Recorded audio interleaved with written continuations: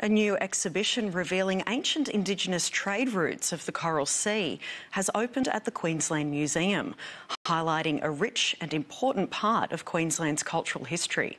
It features artefacts uncovered from the coast of Australia, connecting the northeast coast of Queensland to the Torres Strait and southern New Guinea. At face value, the new exhibition is about the ancient trade routes of the Coral Sea. But it reveals much more than that. It's a story of movement, and with the law of the land, the law of the sea, you can see where our ancestors been for the past thousands of years. The exhibition features artefacts from around Queensland and Jiigurru, or Lizard Island, which tell a story. They can see how all of these stories about human expansion are just intertwined with the objects.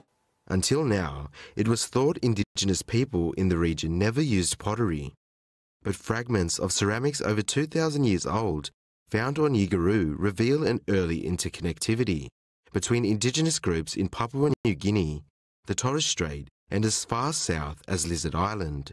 Their ancestors who maintained these trading relationships over hundreds and perhaps thousands of years, which connected them with ideas and material culture and, and knowledge uh, over such a vast expanse of sea country.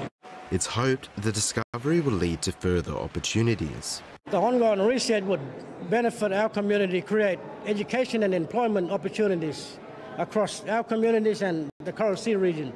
For now, showcasing this story for the world to see has great meaning. The most outstanding part of this journey was us having our story being told, sharing our connection to country. That's something that needs, that's something that everyone should have their connection to country.